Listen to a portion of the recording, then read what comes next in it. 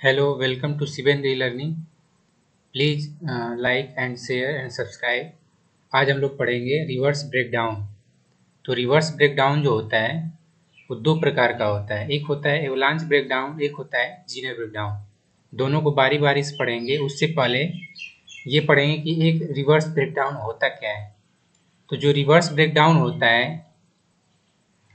Reverse breakdown एक निश्चित मान पर यानी रिवर्स वोल्टेज के एक निश्चित मान पर धारा की तेज़ी से बढ़ जाने की प्रक्रिया जो होती है, उसे क्या कहते हैं? ब्रेकडाउन या भंजन कहते हैं।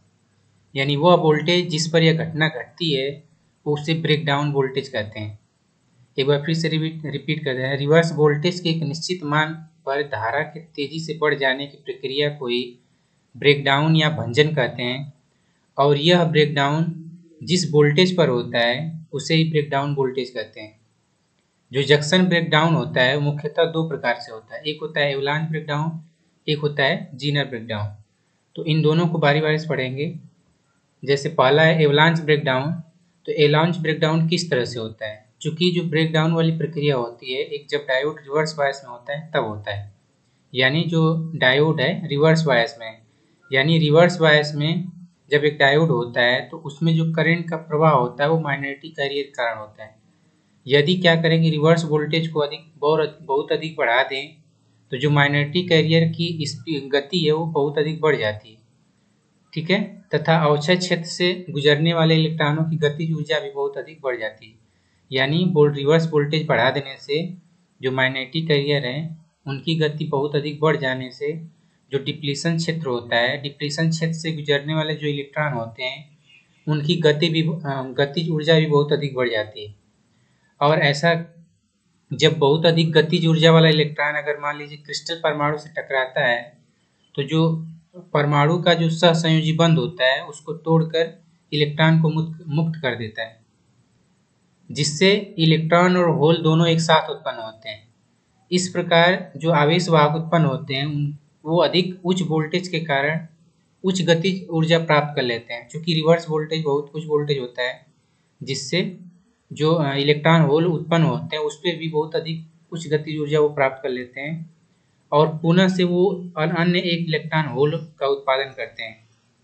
और इस प्रकार टकराने और सहसंयोजी बंद टूटने से यह प्रक्रिया लगातार चलने के कारण इलेक्ट्रॉन होल की संख्या इतनी बढ़ जाती है, जिसे एवलांच मल्टीप्लिकेशन कहा जाता है। और डायोड में जो रिवर्स करंट है वो बहुत तेज़ी से बढ़ने लगती है। और इस प्रक्रिया को या इस सिचुएशन को एवलांच ब्रेकडाउन कहा जाता है या यह सिचुएशन एवलांच ब्रेकडाउन हो जाती है। और जिस वोल्टेज पर यह ब्रेकडाउन होता है, उसे एवलांच ब्रेकडाउन वोल्टेज कहा जाता है।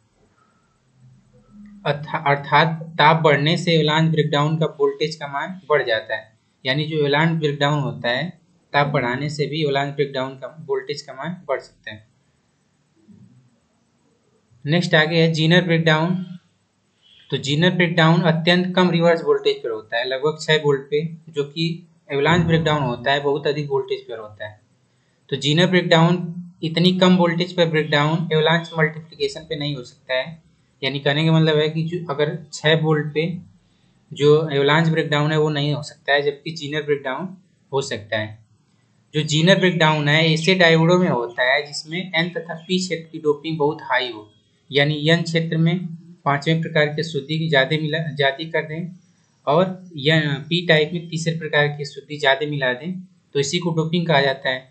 तो अधिक डोपिंग कर देंगे तो अधिक जो इलेक्ट मेजोरिटी कैरियर है, वो अधिक, बहुत अधिक होंगे।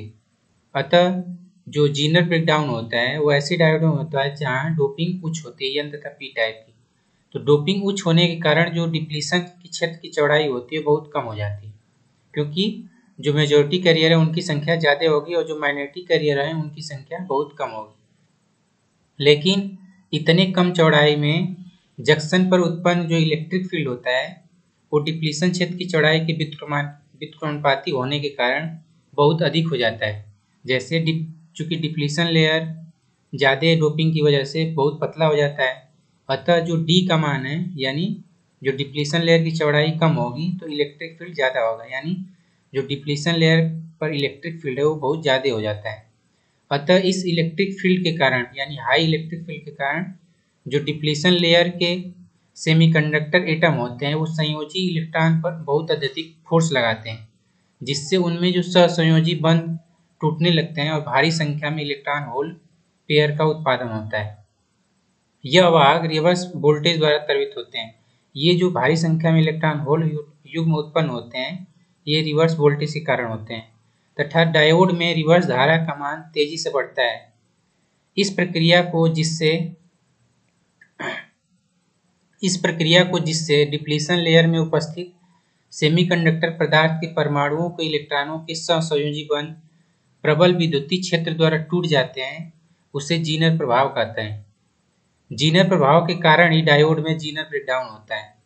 अर्थात जिस वोल्टेज पर जीनर ब्रेकडाउन होता है, उसे जीनर वोल्टेज कहा जाता है।